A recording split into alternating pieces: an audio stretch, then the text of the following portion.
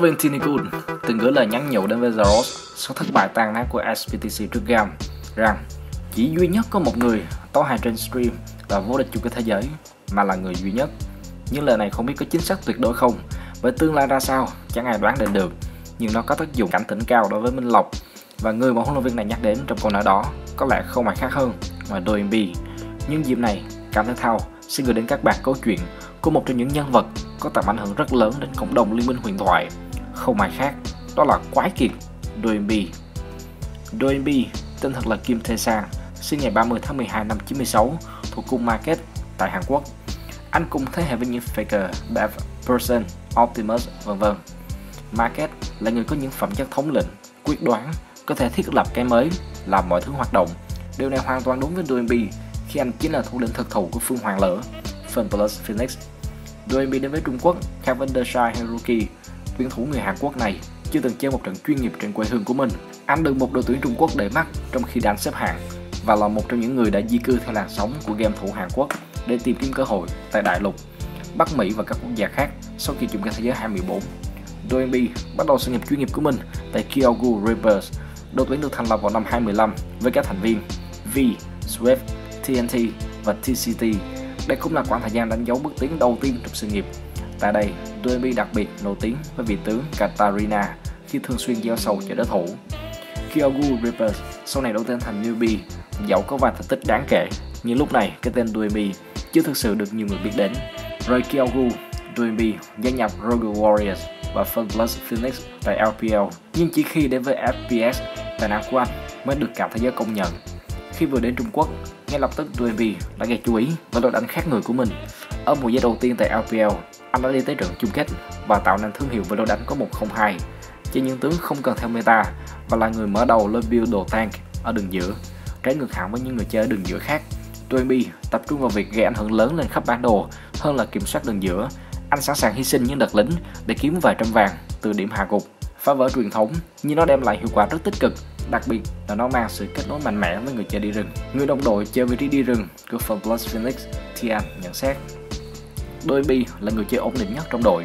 Bất kể anh ấy sử dụng vị tướng nào, anh ấy vẫn phát huy được sức mạnh và hiệu quả của vị tướng đó. Thường thì tôi không phải hỗ trợ anh ấy quá nhiều trong khi đi đường. Đôi bi được biết đến là người chơi có bệ tướng mà lối chơi đa dạng nhất, nhưng nó lại mang đến sự ổn định cho phần Plus Phoenix. Trước đó dù tài năng của đôi đã được thừa nhận anh vẫn chưa một lần được đến với giải đấu lớn nhất của Liên minh huyền thoại là chung kết thế giới. Tháng 12 năm 2018, Dolby chuyển đến Plus Phoenix với vai trò người đi đường giữa. LPL mùa xuân 2019, Phương Hoàng Lửa xếp thứ nhất với 13 trận thắng và 2 trận thua. Họ đã thua JDG ở bán kết nhưng chiến thắng top trong trận tranh hạng 3. Cá nhân Dolby giành được MVP Pro League mùa xuân 2019. Đây là lần thứ hai anh nhận được giải thưởng này tại LPL. Bước vào LPL mùa hè 2019 để thăng hoa của Dolby và các đồng đội, FPS đã đứng đầu giai đoạn vòng bảng với tỷ số 14-1, bước vào playoffs với chiến thắng thuyết phục trước LG với tỷ số 3-1, giúp họ giành quyền vào trận chung kết gặp Royal Never Give Up. Họ đã can quét RNG một cách đầy thuyết phục. Uzi và các đồng đội phải ngậm ngùi, nhìn FPS nâng cao chiếc cúp LPL mùa hè và giành tấm vé đi thẳng đến chung kết thế giới 2019 với tư cách hạt giống số 1 Trung Quốc. Fun Plus Phoenix không chỉ chấp nhận phong cách chơi đặc biệt của anh, mà còn là nơi nâng tầm anh đến với những thành công mới đồng thời giành quyền đến với giải đấu mà anh hằng ước mơ. Tại chung kết thế giới, mặc dù rơi vào bảng đấu dễ thở nhất, nhưng FPS của DMB lại không có được những chiến thắng thuyết phục. Thế nhưng khi càng vào vòng trong, thì DMB cùng các đồng đội càng thể hiện được một bộ mặt khác, bộ mặt của nhà đương kim vô địch LPL. Họ lần lượt hạ gục Fnatic, Invictus Gaming và G2 để lên ngôi vô địch đầu tiên trong lịch sử của tổ chức. Đồng thời đánh dấu cột mốc Fun Plus Phoenix xác lập kỷ lục tương tự SKT 2013 khi là đội tham gia chung kết thế giới lần đầu tiên và giành luôn chức vô địch. Điểm mạnh nhất của Doemi là thiếu được hiệu quả rất nhiều chất tướng ở đường giữa, từ pháp sư như Ryze, đấu sĩ như Renekton, Rumble cho tới đỡ đòn như Nautilus, Malphite, Galio. Đồng thời, khả năng kêu gọi giao tranh sắc bén và di chuyển, phối hợp nhân nhuyễn cùng đồng đội của đội trưởng FPS cũng được anh bộc lộ trong những trận cầu quan trọng. Những đóng góp của cá nhân Doemi và lối chơi chung của phần Los Phoenix là rất đáng kể. Không quá khi nói rằng Doemi chính là linh hồn của phương hoàng lửa Phong độ đỉnh cao đó của BNB đã giúp anh cùng với FPS mang về chức vô địch thế giới năm 2019 với Trung Quốc. Với kết quả mỹ mãn của mùa giải 2019, những nỗ lực không ngừng nghỉ trong suốt 4 năm trước đó của DMB đã được đền đáp. Bước vào mùa giải 2020, DMB vẫn là đầu tàu của FPS khi anh vẫn giữ được một phong độ ổn định, tức là những đồng đội của anh đã dần đánh mất mình. Tất cả khiến Phượng Hoàng Lửa chỉ có được vị trí thứ ba chung cuộc mùa xuân. Tại mùa hè, dù họ được kỳ vọng rất nhiều quay trở lại đế chế của mình, nhưng trước những đội tuổi hàng đầu hiện tại như Top Esports, Jindong Gaming hay những thế lực mới nổi như Sunning, FPS tỏ ra hụt hơi khi bị loại vào Victory 5 ngay tại tứ kết. Một việc còn tồi tệ hơn khi họ không thể vượt qua Invictus Gaming tại vòng 1, vòng loại chung kết thế giới. Và tất nhiên với kết quả như vậy, nhà đương kim vô địch không thể góp mặt tại chung kết thế giới 2020 dù Trung Quốc là chủ nhà. Đây có thể xem là nốt trầm trong sự nghiệp của DNB. Mùa xuân 2021, FPS vẫn đang bay cao tại LPL với những chiến thắng liên tục giòn giả. Do vậy, vẫn còn quá sớm để nhận xét về họ trong mùa giải hiện tại.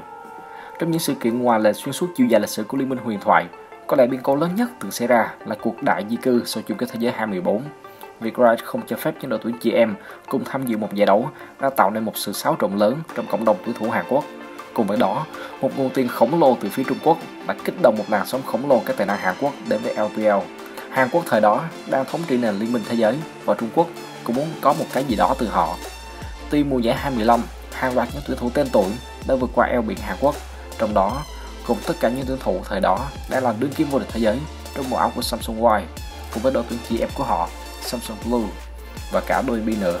Lúc đó, anh chẳng là ai cả, một thanh niên nào đó lên top thách đấu xếp hạng đơn và được gia nhập Kyogu Reapers, một đội tuyển hạng 2 Trung Quốc. Ba hợp đồng đó đã tạo nên một khởi đầu tươi sáng. Đội bị giữ nhà Kyogu thăng hạng LPL và đồng thời giúp họ có vé tham dự cúp IEM vào tháng 3 năm 2016.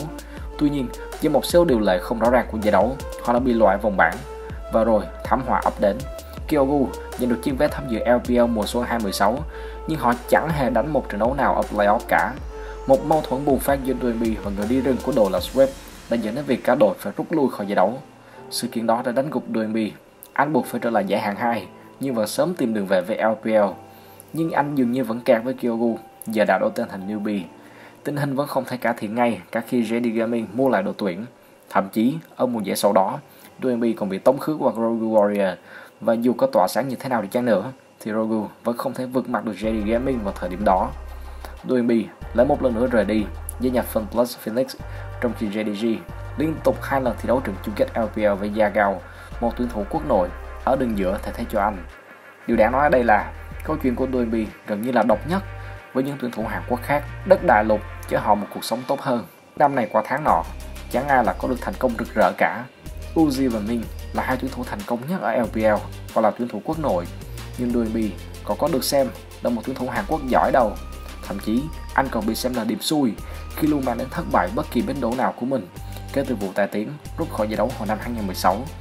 Lý do nhiều người ghét bỏ Dwayne có lẽ chỉ nằm ở cách mà anh triển khai trận đấu. Những ngôi sao đường giữa thời bây giờ luôn chọn cho mình những vị tướng với lối chơi hậu báo và tìm cách một mình gánh đội ở mỗi trận đấu. Dwayne cũng từng là một người chơi như thế, nhưng giờ anh thật sự khác biệt với phần còn lại. Nét đặc trưng trong lối chơi của Dwayne suốt chiều dài sự nghiệp đến từ bệ tướng đường giữa quá dị mà anh sở hữu. Ở đây, chúng ta không nói về những tuyển thủ có thể dùng những vị tướng như Aurelion Son, Serap, vân vân như bài tẩy. Chúng ta đang nói về một người đi đường giữa có thể mặc kệ meta và khóa vào Poppy hay Maokai. Lối chơi của anh như định hình cho cả đội tuyển của mình. Dwayne chơi như thế anh chẳng thèm quan tâm đến đường của chính mình mà thay vào đó là liên tục hoạt động với người đi rừng để kiểm soát tầm nhìn và tổ chức tấn công ra hai cánh. Trong nhiều trận đấu, thời gian ở đường cánh của Dwayne có khi còn nhiều hơn cả thời gian mà anh bỏ ra ở đường giữa. Lối chơi dị thường này đã chứng tỏ hiệu quả không ngờ. Kể từ thời Dwayne còn chơi cùng ngôi sao đi rừng Clip, lúc này còn là một tài năng trẻ. Trong mùa áo newbie, cả hai đã đạt đến một đẳng cấp khác thường. Năm 2019, thậm chí đội hình phần Plus còn khủng khiếp hơn nữa khi tất cả đều xoay quanh lối chơi của Dwayne tương tự như chức vô địch của IG một năm về trước khi họ xoay quanh hai tuyển thủ người Hàn là The Shy và Rookie. Người đi rừng Tian của phần Plus Phoenix cũng vô cùng phù hợp với lối chơi này, đến nỗi mà dường như nó cũng biến chính Tian thành một con quái vật trong khu rừng. Đến nỗi không ai ở LPL có thể ngăn cản cặp đôi này, dù là nhà đương kim vô địch thế giới IG hay huyền thoại Uzi. Đầu mùa giải 2019, các phân tích viên đã cho rằng lối chơi của FPS chỉ có thể được tạo ra bất ngờ trong giai đoạn đầu. Các đội tuyển khác sẽ có thể nhanh chóng bắt bài và lời nguyên Dwayne sẽ một lần nữa quay trở lại. Điều đó đã xảy ra ở LPL mùa xuân khi FPS bị chính Junon và Yagao đánh bại. Tuy nhiên họ ngay lập tức quay trở lại ở LPL mùa hè, lần này hoàn thiện và khủng khiếp hơn gấp nhiều lần. FPS dường như không có đối thủ trên con đường đến với chức vô địch LPL và tấm vé hạt giống số 1 của chung kết thế giới. Còn Jindomu, họ sẽ phải ở nhà và xem chung kết thế giới qua màn hình nhỏ vậy. 4 năm sau lần đầu tiên xuất hiện, Duemi cuối cùng cũng có tấm vé đến với giải đấu giành giá nhất hành tinh. Từ một tài năng trẻ, anh đã học thành thạo tiếng Trung để trở thành một đội trưởng đích thực cho cả đội và biến lối chơi đặc trưng của mình trở thành một tượng đài.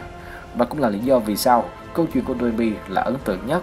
Sẽ có rất nhiều tuyển thủ muốn ghi tên mình vào lịch sử chung kết thế giới. Nhưng đặc biệt với Duemi, anh đã hoàn thành con đường của mình. Đó sẽ là câu chuyện được chúng ta kể lại nhiều năm về sau nữa.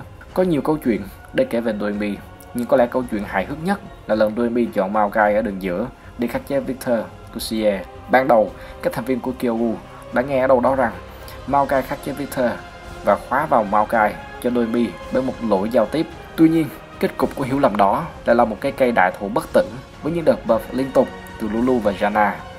QG đã chiến thắng trận đó với tỷ số 3-2. Một tuần sau, họ cũng đã thành công thăng hạng lên LPL. 4 tháng sau, họ giành ngôi áo quân LPL sau một trận thua suýt soát trước LGD. Ở thời điểm đó, Duenby cùng người đồng đội Swift được xem là một trong những cặp đi rừng đường giữa mạnh nhất thế giới.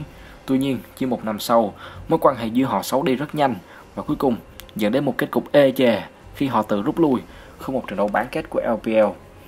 Nhìn chung, Duenby là điển hình của một người chơi đường giữa LPL kiểu mẫu, hổ báo và kỳ lạ, đơn điều và dễ đoán, nhưng được triển khai và xử lý một cách tuyệt đối, chính là chìa khóa chiến thắng của FPS. Doenby không phải là ngôi sao luôn tỏa sáng, lắm khi anh chỉ đóng vai trò thường khi của mình là một hỗ trợ và dựa vào khả năng triển khai của FPS để chiến thắng. Cuối cùng, sau 4 năm trời thi đấu ở nơi đất khách, Doenby đã có được danh hiệu vô địch thế giới.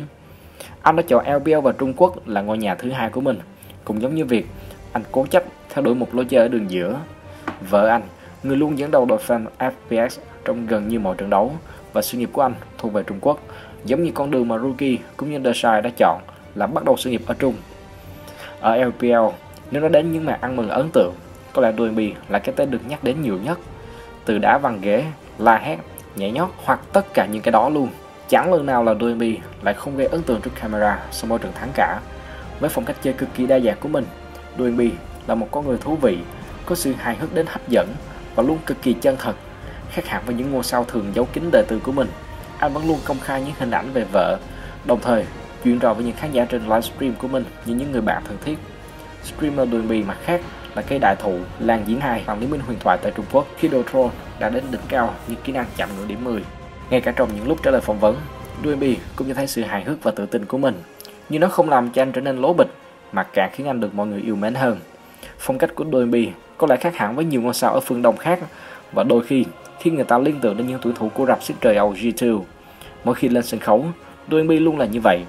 Alo khiến các khán giả phải ô lên thích thú, không chỉ với màn trình diễn, mà còn bởi chính con người của anh. Gác lại những thất bại mà anh nếm trải, Duemby xứng đáng là một trong những đường giữa huyền thoại của Liên minh huyền thoại thế giới. Và cái tên Duemby có thể đã và đang sẽ còn là niềm cảm hứng cho nhiều tuổi thủ trẻ sau này.